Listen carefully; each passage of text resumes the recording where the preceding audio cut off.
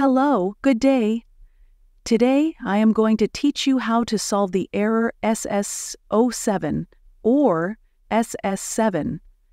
Well, this error is because Snapchat has detected the device as a fraudulent device, a device that, for example, has tried to create too many Snapchat accounts, has tried to carry out an activity within of illegal Snapchat within within slash without. So what happens that now, no matter how much we try to log into Snapchat, it is not going to let us since it is a problem with the device. Okay, what can we do? In this case, very simple. What we are going to do is the following.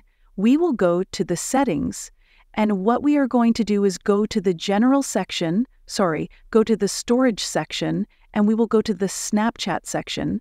And now we will press offload. That is Snapchat offload in this way before deleting the application. What we are going to do is delete all the default settings that it already had when we do this. What we are going to do next is activate airplane mode and once we activate airplane mode, we are going to wait a minute, deactivate it, and we will try again. Log into Snapchat in principle.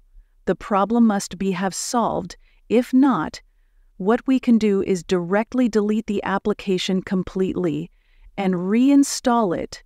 So nothing, this is all, see you later, thank you.